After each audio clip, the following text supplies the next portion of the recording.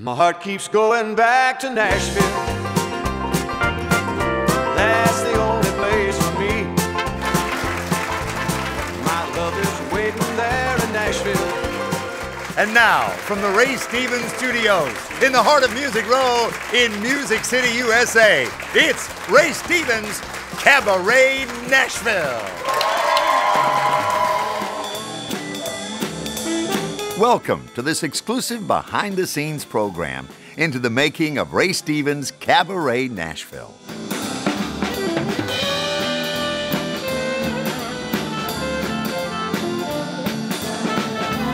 So let's get this show on the road. Ray, where do you get that sense of humor? No, I, you know, my whole family has always been easy to laugh, easy to smile. And it was uh, fun growing up. My grandma, one of my grandmas used to find humor in everything. And she, she would see somebody doing something strange and privately laugh to me and explain to me what was funny. And I thought, oh, yeah, that is funny. So, you know, it was very instructive. What is it, what is it that I do that most people, other entertainers don't do? Well, first of all, I think I sing songs, uh, some songs that are uh, a little off the wall, a little uh, off the beaten path, and they're, some people call them weird, other people think they're silly, but uh, they're a lot of fun. It's great to make people laugh. You know, laughter is really contagious for one thing, but it does a lot of people say it helps your health. You know, it's helpful to to to your health to uh, have a good laugh. You know, and uh, I've worked a lot of shows in my life and been around a lot of comedians, and uh, I used to wait in the wings backstage, absorb all of the song, all of the jokes that the that the uh, comedians were telling. You got to be prepared. You got to constantly be looking for new material, and you got to constantly be thinking about how to say it and how to deliver it that will hit the audience just right. And one of the things you got to remember as a comedian is if you've got a good joke, tell it, but don't wait any, waste any time. Tell it as fast as you can. Uh, don't don't go too fast. I mean, make it understandable. But the audience can they can get bored just like that. So you got to zip through the joke and get to the punchline and move on. When you see Ray in the studio or at his office, you won't have to look far, and you'll find his longtime friend and co writer, Buddy Kalb. Well, when the credits roll, it says Buddy Kalb, writer, but uh, actually, I'm uh, more than a writer, I'm more uh, an assembler of uh, things that Ray Stevens uh, naturally says and does. My role is, is kind of a, a unique position. I mean, I'm I'm right there with him, you know, uh, a lot. Most we're we're together most of the day, every day. Somebody asked me if I was Ray Stevens' manager one time. I said, no, he's completely unmanageable. I'm not his manager by any stretch of the imagination. I'm his friend, and uh, I help Harold Ray Ragsdale be Ray Stevens. That's what I do. Well, the reason I want to do this show is because I think it's a fun show. It's uh, uh, fun to do, and I think everybody on the show has a good time, and I think it shows on camera. I enjoy it. I'm an entertainer. I've always been an entertainer all my life. My dad used to say, when are you going to get a real job? And I never did. People uh, always say to me, is he as nice as he seems? And the answer to that is absolutely yes, he is. I think one of the things that, that people might not know about him is his generosity. Uh, he doesn't talk about that, and he probably wouldn't enjoy me talking about it. But let me just say that uh, he is an extremely generous and giving and loving man. He's a, he's a fine person. Well, as far as preparing for this show, there, there in a sense, uh, Ray's been preparing for it his whole life. I mean, he's because this is he just kind of brings into the show uh, all of his his his record making, his video making, his stage performance, uh, music publisher hat and whatnot, his relationships and associations as a music producer with musicians and people in town and other artists and whatnot. It's, it's just, uh, he's really letting people see uh, a little slice of who he is. Well, it takes a lot of people because you have to arrange for the sound, the lights, the cameras, the recording, the uh, all the people to run all those things, and all the people to book all the artists, the guests. Believe me, it's uh, a lot of stuff. And one very important person to handle the stuff is Cindy Sinclair. My name's Cindy Sinclair, and I'm the producer of the Ray Stevens CabaRay Nashville show.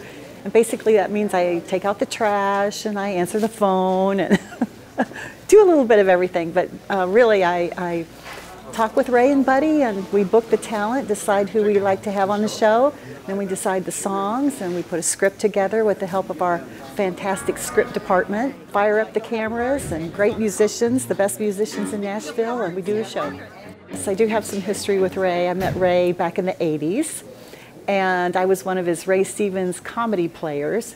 And I was on camera doing skits with Ray for a pilot that he did and some TV show stuff. And um, anyway, uh, we got to be friends. And then television production took me all over the country. And I actually came back to Nashville.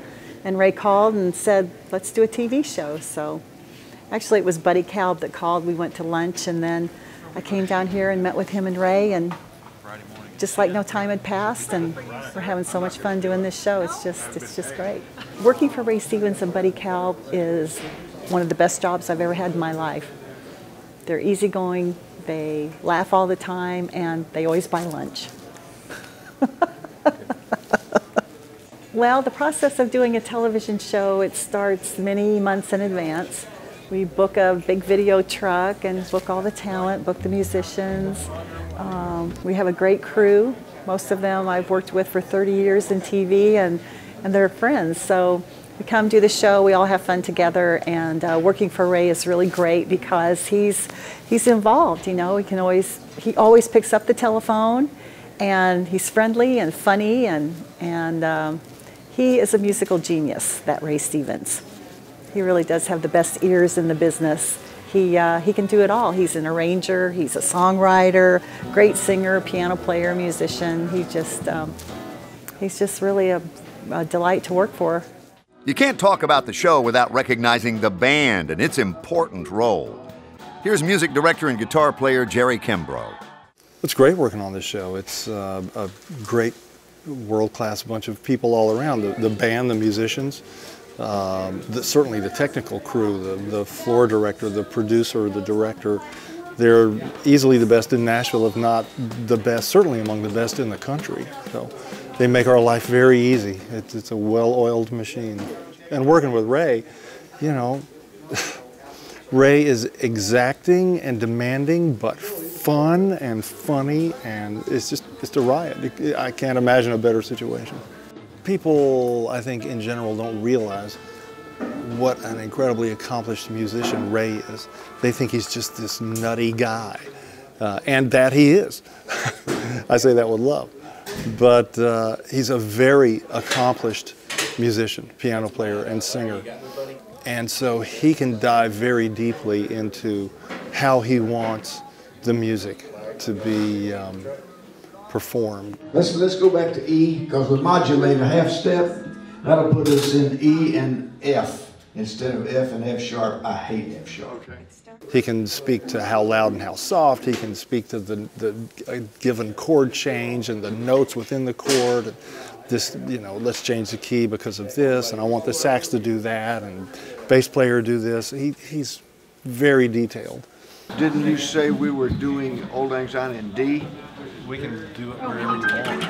Well, if we do it in D, we end on a uh, an A chord, which is the five. Ray Stevens does his homework.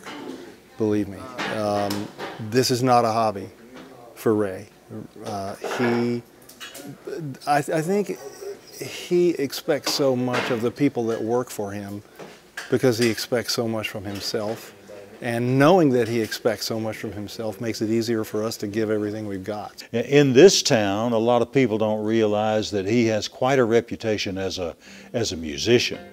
I mean, the, you see him play the piano a little bit on the show, but this guy is, this guy's really something as a musician. When you get in a studio, he's tremendously fast, he's very creative, and he can come up with stuff. I mean, he helps producers produce you know, as a musician. And then he is a producer himself. So with a, with a sheet of music um, in front of everybody, uh, somebody's got to write that, and I'm the only one that knows. I'm not the only one that knows how to do it. I'm just the only one that knows what I want. so I'm going to burn the midnight oil tonight and put about four or five charts together. So now that we're all warmed up, let's really go behind the scenes with Ray and the team. Man can't get any privacy anymore. no privacy. What's the word of the day, sir? Well, I think it's uh, uh, tense up. That's two words in Icky, icky, ucky, ucky. Oh, it's ucky. It's just easier to say. Icky, ucky, icky, icky, ucky, ucky. Go my mouth. And another we go furthermore, furthermore, and then one of you goes furthermore. He says. I'm writing out some parts for a song we're going to do on the show. And uh, this is a chord sheet. Oh no, this is a sax part, and this is a chord sheet. Well, the clown suits is the ones the band didn't like very well. And uh, I said, "Oh, hey boys, come on! All, everybody dressed like a different clown," and they did. they didn't like it. I thought it was a great idea, but they quit. And we're at the world's supposedly best steak restaurant. And Kroon orders a hamburger steak, and they said, "Sorry, sir, we don't sell hamburger steak. We have uh, sirloin, you know, T-bone, porterhouse." and Kroon got up and left. He wouldn't. He was a hamburger man. I'm in the grocery store one day, and a little old lady walks up to me and says, "Are you naked?" I think those glasses really popped for TV. He wore them uh, the first day we rehearsed, It's a wonder when he doesn't see. and I thought to myself, "This guy is really weird." But they grow And that's on what you. I was thinking. Yours looks great. Well, I, I work on mine, you know. Oh yeah, it's got a little detail on it. Oh no! Now there, now. Now. Oh, no more calls. We have a winner. Okay. Oh, you. look, look at Jimmy. But We're getting all this for posterity right here. Yeah. Oh, you, you're using a, you're using a Kleenex? No, it's a napkin. You did it for me, you used a dead mouse. Uh, mouse are good. Mice are good. They're right, just the right size. Any mice. Computer mouse? Computer mouse, a live one. I remember the day my dad brought home the 45 of the Streak. He was a truck driver. He brought it home. He picked it up at a truck stop, came home, put it on the stereo, played it constantly for about two days, and then it disappeared. Mom got hold of it. It's gone. Well, now I see where you got all your couth from. Don't drop any powder in my coffee. My real name's Cindy, so if you want. Oh, want. it's Cindy Sinclair. Yes. Her daddy owned the filling station. Actually, her father's a preacher. Yes, he is. Of a little Baptist church. Little Baptist church. Very excited. It's shoot day finally. We've been working for weeks getting ready for today. Here it comes. Yeah, Cindy, uh, Ray, Ray calls her Eva Braun. she, she keeps it moving. She's a taskmaster. Xena, the warrior It's princess. after Lonely Street or before Lonely? Okay, piano. Introducing from the piano and play on Lonely Street. We're going to rehearse that now. Thank goodness I got a stu- Lots and lots of quality family entertainment. Just that one song, Wind Between My, my Wings. Wind Wind Beneath My Wings. Okay, well, let's get back to night then. Okay. Okay. I'll find it, I'll find it, I'll find it. What did you do with my guitar? Is it right here? Yep. Next. What? That's it. Thank you, dear. You're welcome, sir. Go back here now. The fun part is getting to watch them figure it all out. See, I got a woman. She lives across town. After the two bars, Ray. Tomorrow night, but Sustenance for the chief. This band, Ray Stevens Band, they are hot. It's fun to play with a band this hot. Jerry, what key do we do this in? I'm busy. Uh, C, we've got C. Okay, that's good.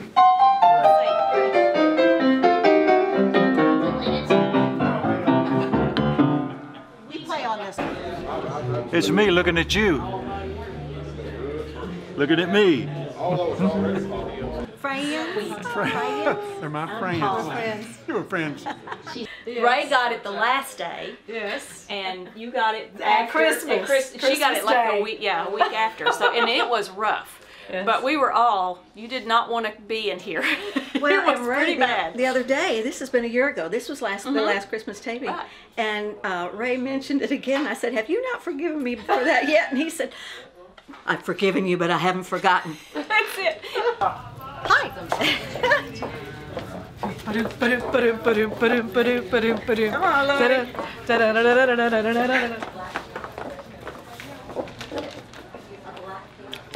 You know you got pretty women running around here. It's a prerequisite. I cannot bend over and pick that pencil up because he likes short skirts. I figure my And I have school a band days, school days are Over, over. that's it. It'll look great. Whatever it is, it'll look great. If Ray said it, it'll look great. And here's the very talented team that makes this show possible. Hi, I'm Patricia Brandon Wendell. I'm production supervisor on Ray Stevens CabaRay Nashville. My job is to do everything from scheduling to catering. Hi, I'm Milton Sneed. I'm the director slash technical director for Ray Stevens Nashville. Uh, my basic responsibilities are to take the producer's ideas and make them visually happen. Magic. Hi, my name's Pam, and I'm the line producer. I do the financials, the contracts, the payroll, get everything ready. And then when we're in production and we're doing, I'm in the truck with the director, Milton Sneed, and putting all the shows together, getting them to time and ready to go to editing. Hey, this is Ben Surratt, and in my real life, I'm Ray's recording engineer. We work together in the studio through the week, making uh, the music that makes it all go. But during the tapings for Ray Stevens CabaRay Nashville, I'm audio producer, which means I'm handling the recording of the show, and then uh, and then I work with the band and I work with Ray to make sure that the sound gets recorded correctly. Hi, I'm Cindy. I'm one of the makeup artists at the Ray Stevens Show, and we try to make Ray look great whenever we can. And this is my partner in crime, Jeannie. Jeannie. And there's never a dull moment here. It's so much fun. Busted. Are you having fun here at Ray Stevens Nashville CabaRay? okay, so we will put you guys in these one, two, three. Yeah, you can put us right And I'll take your coat. Oh, thank you. Hi, I'm Russ. I get to adjust the audio for the live audience sound. Uh, one of the hats I wear. I get to run around and cause other trouble, and I'm also the editor for the show. My name is Jeff Nunnally, and I'm the stage manager for the show. And generally, what I do is the director and the assistant director they're in a truck outside of the studio, and it's my job to tell the talent what's going on in here from what I get in my headset. I'm Mark Carver. I'm the lighting director for the Ray Stevens show. Uh, we sort of light up the set, make sure the people look nice on television, make sure Ray looks in his best light, and uh, and we have a good time doing it. Hey, my name is Brett Skelton, and I'm the jib operator for the show. Hi, I'm Scott. I'm a camera operator. Larry Copeland, camera. David Lewis, cameraman. Welcome. I'm Jerry Palmer, and I am the art guy, and that's basically it. I try to make things pretty. My name is Shipley Landis. I'm the technical manager for the uh, productions here we do here at Ray Stevens. I'm Larry Bearden, and I'm the video shader, and I control the cameras, the high-def cameras for the show. This is the man that makes me look good right here. Part of what makes this show great are the special guests. We ask them about Ray Stevens' music and their favorite Ray Stevens song. The most famous one I heard was Coming Through the Pole Bean, Naked as a Jaybird. Everything is beautiful. He, he also did uh, songs that were pop songs. And I would see him on TV, and I thought he was a funny guy and a cool guy. But then I came to Nashville, and I realized he was really one of the the, the big boys uh, in town, along with Eddy Arnold and uh, and people like that. First time I heard Everything is Beautiful was on WMCA with the good guys in New York City. We did a song, we did Mr. Businessman, did it every night. That was one of the big, big highlights of the show. That was uh, one of the greatest songs I think he's ever written. Still great today. I love Ray. I told him I said when we we saw each other in some parking lot or on the street, and I said, "You were my hero back when I was first started playing music because not only could you really sing, but you had a real sense of humor about it too." Yeah. Crazy Arms. That's not my song. That's Ray Price song. You know, when the streak came out, I didn't think that much about it. Thought it was funny until we had a guy streak across the assembly in our high school. Man, that song came to life real fast. It's pretty funny. Ding dang. Ray Stevens got me in so much trouble when I was a kid because I wanted to do nothing but ride around and sing The Streak. Oh yes, they call me The Streak. Oh, I used to embarrass my mom so bad. Along King Jones. Ooh, oh, King Jones. That, that Guitar probably Zan right here. Yeah, Gitarzan. Guitar I- Zan. I remember that one too. That Uh-huh. was after it. Yeah. And then of course I I I don't think anybody, or it don't seem like anybody missed the streak. you, you pull that nowadays, they'll, then they'll call the law on you.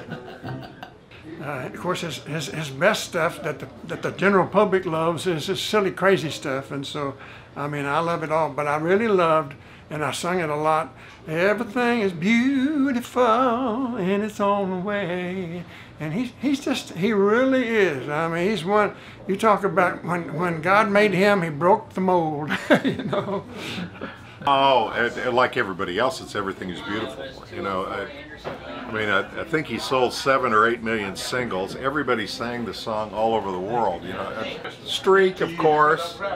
You know, and the Squirrel song. Oh my God, the Squirrel song is just killer.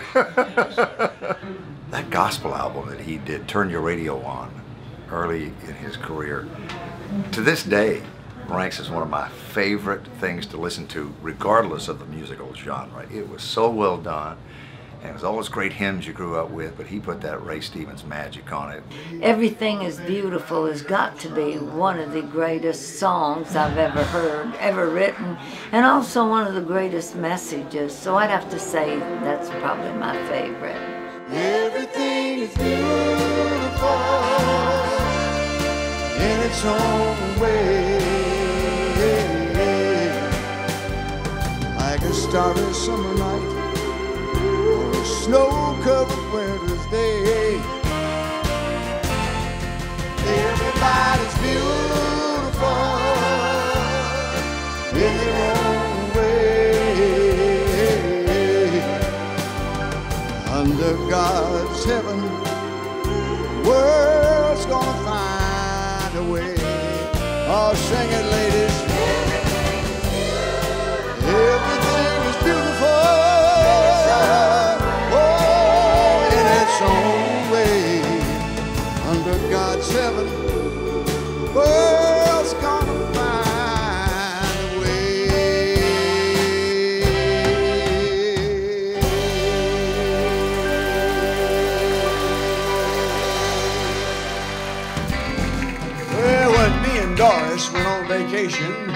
Decided we needed to get a new band. It's on the teleprompter. I thought those were extinct. You know, I'd love to have. Would you sell that? For a thousand dollars? I never liked that picture anyway. This high is not on there. No, it's not. Okay. Okay. Three, two, one. Hi.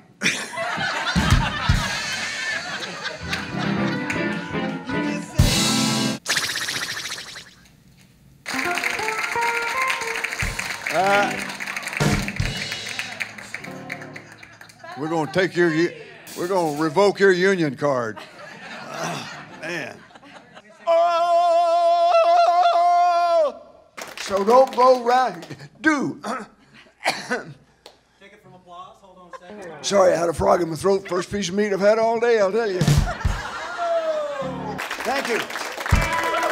Here's one of those good old Chuck Berry songs. How'd you like it? Shut up, baby, I'm trying to sing.